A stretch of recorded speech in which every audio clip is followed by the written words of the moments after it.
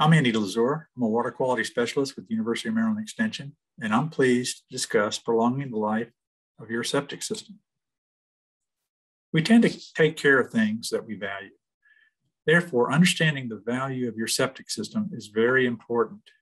In this webinar, we will cover the value of a system, how a system works, and the how and why of system maintenance.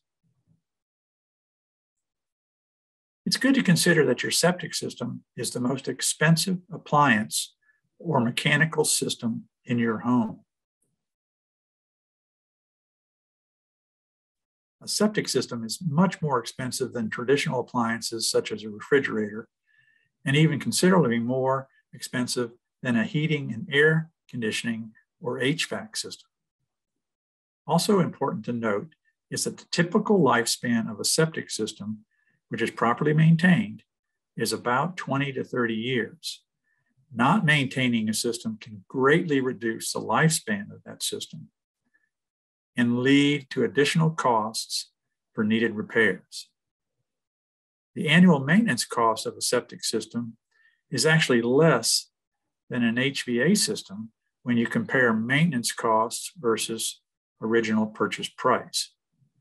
Understanding these cost comparisons can help you better appreciate and value your system and encourage you, hopefully, to commit to properly maintaining your system.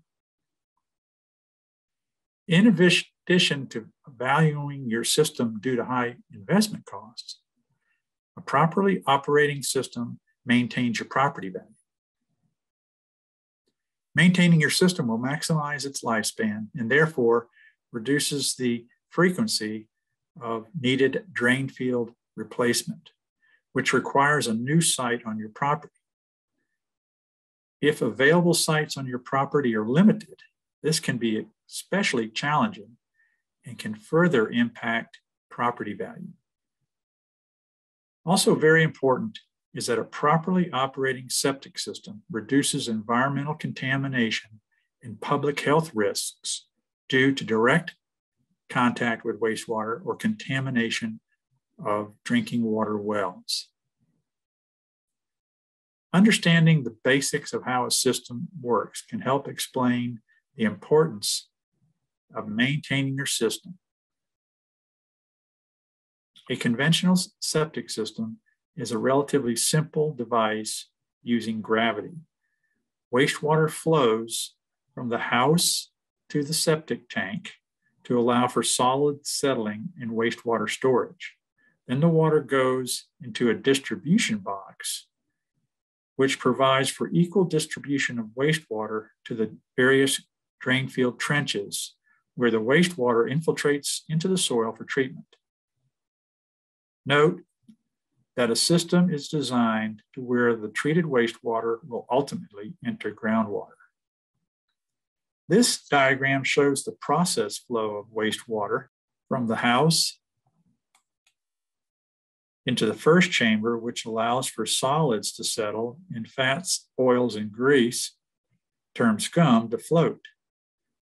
The first chamber allows for a specific storage volume of wastewater before the water travels into the second chamber, in which a small degree of additional solids and fats, oil, and greases will be collected.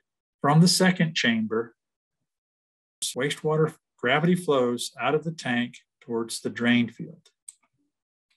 A tank for a three bedroom home is typically at least 1,000 gallons in volume, which provides for about two days of storage. The drain field or soil dispersal area of a septic system is where the bulk of treatment, including nutrients and pathogens, occurs. The size of the drain field is determined by the number of bedrooms, the quality of the soil and its ability to accept wastewater, and the depth of the soil to either the water table or some other limiting or restrictive layer. It is specifically designed for that location on your property. New homes are required to have a dedicated repair area that will provide for replacement of the drain field when necessary.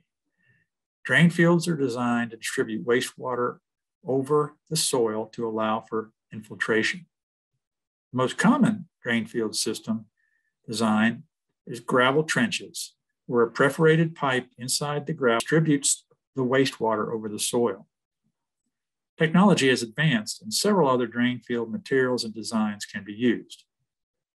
For example, drip dispersal is used in conjunction with an advanced treatment or BAT unit, and wastewater is slowly pumped and released through the porous tubing in the shallower regions of the soil, generally about 6 to 12 inches deep.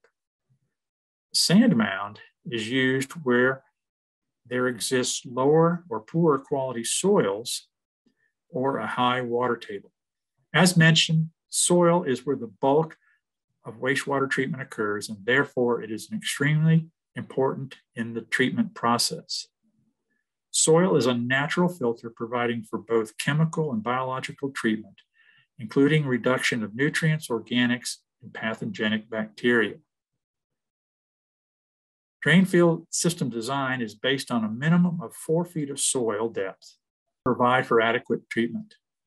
In cases where the four feet of soil depth is not present, then an elevated dispersal area, such as an at-grade or sand mound, is required. This diagram shows the process of wastewater treatment in the system. The nitrogen from the household wastewater transformed initially from ammonia to nitrite, then nitrate by beneficial bacteria in the soil. This process is known as nitrification and it requires oxygen. And therefore, it is very important to protect the drain field from such things as flooding or compaction of the soil by driving over it or covering it with a structure. Other beneficial bacteria in the absence of oxygen, which is located typically in the deeper regions of the soil, can convert the nitrate into nitrogen gas, and that process is called denitrification. The nitrogen gas then can be released into the atmosphere. The boxes in the red show that a septic tank will only reduce nitrogen by about 5%, and a properly functioning drain field can reduce nitrogen an additional 25 to 40%. If an advanced treatment unit or BAT unit is used, nitrogen reduction can be improved greatly up to 55 to 77%. Note that no treatment is 100%, whether it's a septic system or wastewater treatment plant. Proper maintenance will help result in the greatest treatment possible. Maintaining your septic system requires several basic practices. The first is to have your tank pumped at least every three to five years, depending on the number of people in the home.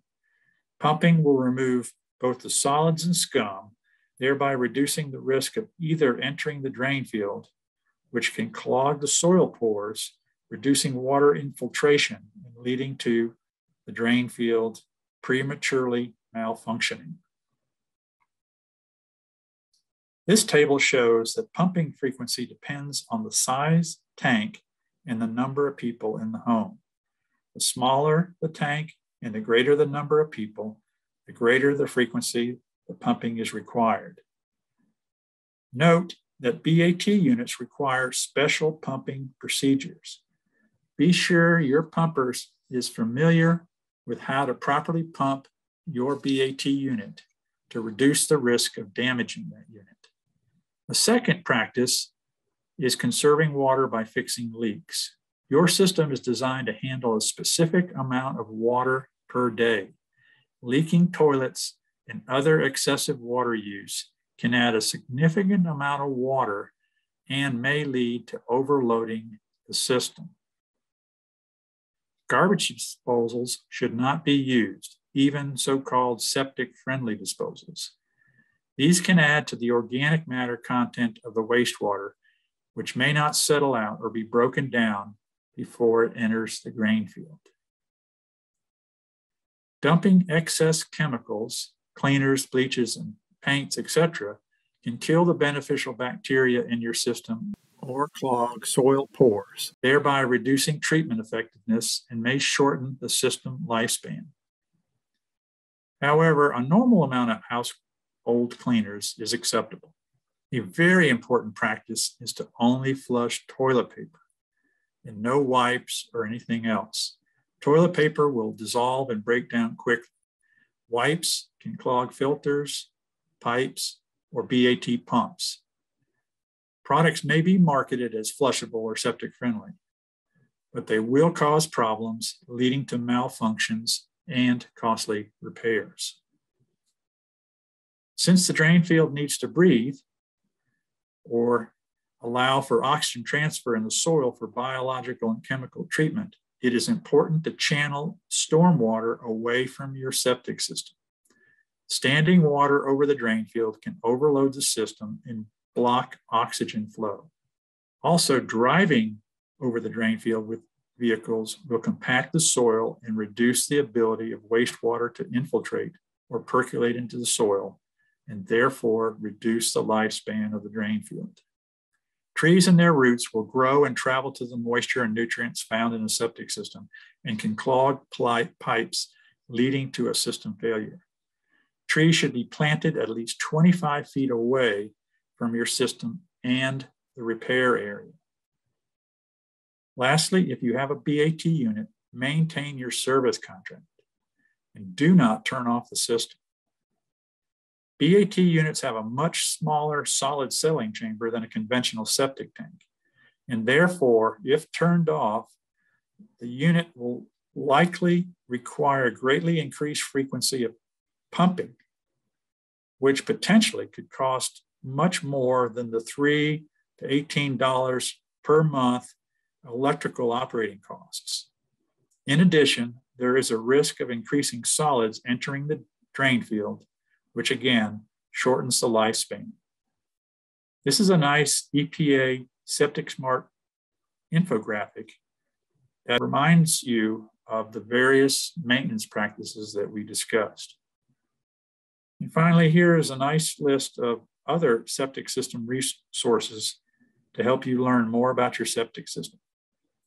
Our website has a number of fact sheets and videos and both the EPA and MDE on-site division websites have valuable resources to help you better understand your system and how to maintain it. Thank you.